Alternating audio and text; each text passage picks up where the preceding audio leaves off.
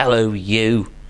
It's that time again. That's right, it's time for another enema of stupid, useless gaming knowledge and fictitious rubbish with good old me in this week's Retro Rambles. And I want to apologise to those of you who were waiting for a teaser on Friday or Saturday, as I promised in the end of last week's video. But the truth was, I couldn't think of anything.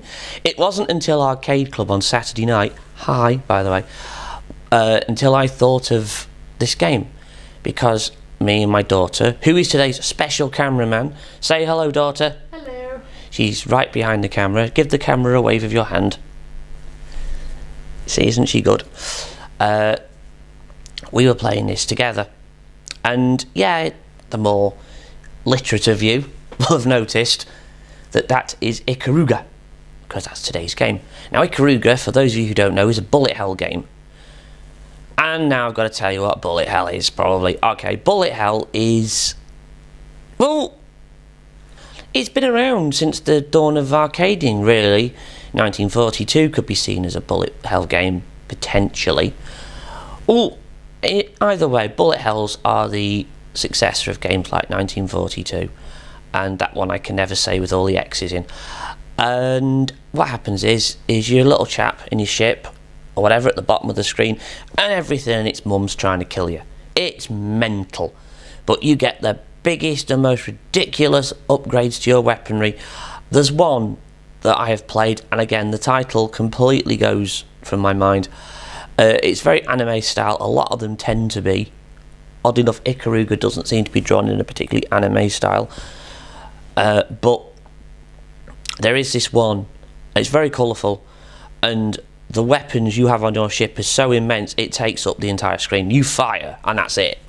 Woomph. You know, it's. But the game is that game in particular is pretty impressive because the frame rate doesn't slow down or anything. Anyway, back to Ikaruga. Released, I believe, in 2001 by a little company called Treasure, and famously, well, maybe not famously, but yeah, sod it, famously, uh, put on the Dreamcast, uh, and it didn't. It turned up on the Xbox 360, and I think it's on PS3. I'm not sure about that. I have it for the Xbox One because it's backwards compatible. Because uh, me and Kay love it, don't we? Yes. Yes, it's fantastic. Now, face off the camera, face behind the camera. What would you say, Ikaruga? Would you say Ikaruga is drawn an anime style? Not really. Sorry? No. No. No. No. No. Sorry if you can't hear it, but we're just we're just messing around. We don't have two cameras. I'm not that rich. Not cameras. I mean microphones. I'm I'm telling them because they'll get confused and start crying. There's nothing more pathetic than watching your audience cry. Anyway, I did a bit of research into the creation of Ikaruga, and when I say research, I mean made it all up. No, I did research it. This is really what happened. Honestly, enjoy the story of the creation of Ikaruga. Hey, I wonder what the story is behind the creation of Ikaruga, asked nobody ever until now. Well, I'm going to tell you. Well, my interpretation of what happened. So we're going to go all the way back to 1999, and you probably think it started with these Charlies. It doesn't. It starts with something else, something a little bit closer to home for us UK people. And we're just going to sit and wait now for all the people who are listening to the Sega jingle from Sonic the Hedgehog in their heads. And now we're going to have to wait for all the people who've just had the idea put into their head by me mentioning it a second ago. Are we done? Marvellous. Let's crack on. So, yes, it doesn't begin with Sega. It begins in the UK with these guys. That's right, Guide Dogs for the Blind. They created one of the best bullet hell games ever. Well, kind of. Sort of. Shut up.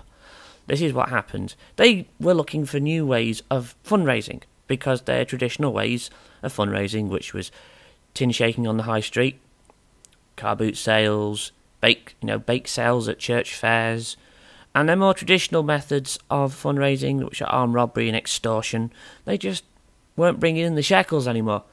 So they went to their new department of guerrilla fundraising, and these two gentlemen, who were head of said department, and their names were Trevor and Simon. And they had an idea of how to make money, money, money by making a game, and they knew about this new console, the Dreamcast. So they thought, I know, we'll ring Dreamcast and ask them to make us a game. So they did, and they rang Dreamcast and said, Can you make us a game? And Dreamcast said, No, I'm a console. And furthermore, how have you called a console? I'm an inanimate object. I can't answer the phone. And further, furthermore, I'm not even a console. I'm the logo. See? There you go. I'm the logo. How have you phoned me? You can't phone me. I can't even use the phone. You want to phone these guys. So the guide dogs do that. They go, okay, we'll phone them. So they phone Sega, and Sega say, what do you want? And they say, we want a game. We want a game, and it's got to be good. And we want to raise money for guide dogs. And Sega says, okay, it's going to cost you five billion trillion pounds. And as you can imagine, they weren't happy because they didn't have five billion trillion pounds. So they had to think about it and what they could do. And they went, I know. We'll go and ask a company to sponsor our game. See if they'll give us the five billion trillion pounds. So who can we go to? I know. What about that dog company, or not dog company, but dog food company that gives all the food away free, sort of? Eukanuba. And you can see where this is going, can't you? Yeah, don't worry, it'll be over soon. Sorry about that. So they do that. They phone Eukanuba and say, Excuse me, can you give us some money so we can make a game? Uh, and it's actually going to be a lot of money. It's going to be five billion trillion pounds. And Eukanuba say, Hang on a minute. Let me ask you this. Why do you need us to give you five billion trillion pounds to make a game to raise money when the money you raise is probably only going to be a tenth of what we're going to give you? And the guide dogs say, We'll tell you why. Shut up. That's why. You, will you do it? And Eukanuba say, You know what? We were in for a laugh, we'll do it, but the game has got to be named after us. And the guide dogs go, You know what? That's fine. So they write it down on a piece of paper to send off to Sega. And unfortunately, dogs don't have opposable thumbs, and the handwriting was appalling. So when it got to Sega, it, well, let's just say, that's why it's called Ikaruga. Sorry, Ikaruga. See, I can't even say it right. And that's kind of what happened. Maybe. Probably. Bye. So there you go. You know, I never did find out how much money Guide Dogs made from it. Or if they made anything from it. Or did Eukanuba just go, nah, mine, after they in- invested 500 billion trillion dollars, pounds even, into Ikaruga. Uh, one of the things I forgot to include in last week's video, much to my profuse apologies and stupidity, was game footage. Uh, but you'll be pleased to know I'm going to show you a bit of Ikaruga in a minute because it will explain more, any better than anything I could say. But what I will tell you is this: is you are your little ship, and you're bopping along doing Ikaruga things. Ikaruga, by the way, is the name of the ship, or one of the ships that you're flying. Uh, and you have this rather unique ability. You have a button that you can change your colour from black to white and vice versa. And you're thinking, all right, what does that mean? Well, what it means is if you're a colour, you can deflect. Now, I'm going to get this wrong, aren't I? Which one is it? Is it if you're white, you deflect black, or is it you deflect the colour you are? Yeah, you deflect the colour you're. That's right. When you're white, the button you, you, you can't get hurt by white weapons, and when you're black, vice versa. And the, your enemies come at you in these two variations, and you can have bosses that are one is black and one is white, and they mix it all up, and you're like, ah! Anyway, there you go. Have a look.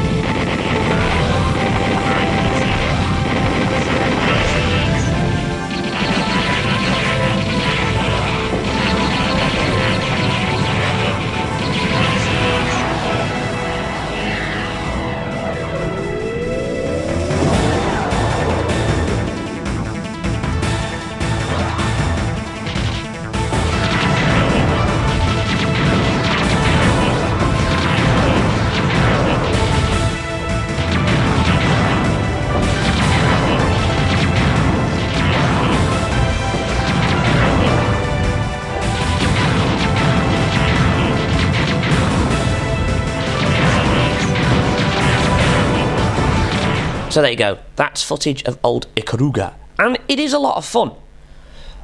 It was released on the Dreamcast, as I said. Uh, and in the arcade, it ran off GD-ROM, which is interesting because with it running off the GD of a GD-ROM, which is a disc, by the way, it has a bit of a unique problem that we discovered once at Arcade Club. You can break it, and you can break it with style. It's like gone. Because uh, me and Kay were playing it, and we were doing really well. We were just storming through it, and we got to this level, and it just went no, no, not playing. Don't want to play. You're mean. You go home. And we were like, uh, but we're playing. That's not very nice. We, we broke Ikaruga. We, we were actually thinking of having t-shirts printed saying we broke Ikaruga. I love this game. I absolutely love this game. I've been I've played it for years. I had it on the Dreamcast in the no, in the early noughties, and I have it for my Japanese Dreamcast as well. In fact, it came with my Dreamcast. I I was given my current Dreamcast as a birthday present by uh, my good friend John, who some of you will remember from the future as a con video from October last year. And he bought me a Japanese Dreamcast. And it had all these games, and it had a Ikaruga, and it's the Japanese version, of course. And it's brilliant. It is just such a great game. The music is wonderful. You can't really hear it over all the explosions and the profanity because you keep dying, because it is a wonderful profanity generator you do use lots of Fs and even the odd C. Cretin. See what I did there? I built you. Your dirty mind. You went straight for that word, didn't you? You, you went straight for the word cucumber. Honestly. And I'm not usually a fan. Well, no, it's not that I'm not a fan of bullet hell games. It's a case of I find them difficult because there's that much going on. But Ikaruga just gets me. It's wonderful. Absolutely love it. I can play it for hours. Uh, I do like on the Xbox One because obviously you can't mash the continues like you can on Arcade Club's machine. Uh, you you that's it. Computer and program. You die. You're dead. Back to the beginning. Oh, that's mean. I hear you cry, but you know what? Sick biscuit disintegratum. I'm not telling you what that's Latin for. Anyone who, again, who knows me, let's stop using. I might have t- I might actually have T-shirts with that printed on. Anyone who knows me well, catchphrase T-shirts and sell them. Money making. I like that idea actually. Right, I think that's pretty much it.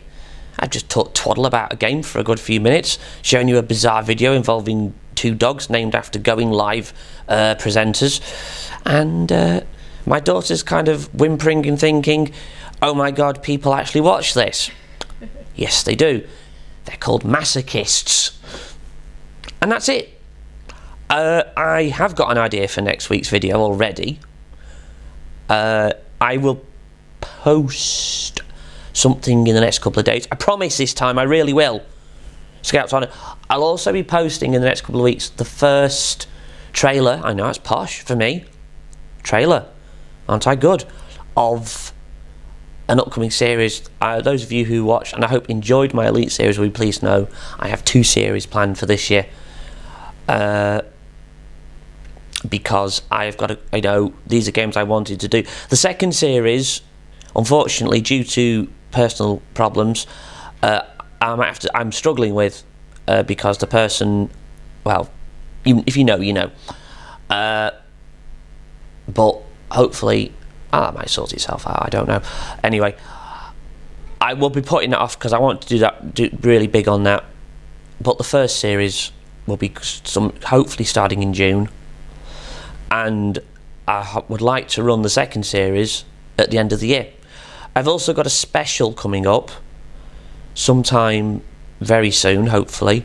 Started working it already, uh, which is covering a book, a movie, and a game, all based on the book.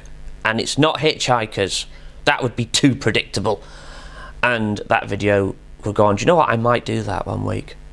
Anyway, that's it. I'm going. Uh, thank you for watching. I hope you stuck through to the end, and if you have, Well done. You can have a prize. You get to watch another video next week. So till so till next Wednesday, I shall bid you adieu and say goodbye, daughter. Bye, daughter. She's off. All right, kids. I'll be back next week. I hope you've enjoyed the video. Take it easy and stay tuned for another ramble. Ta-ra.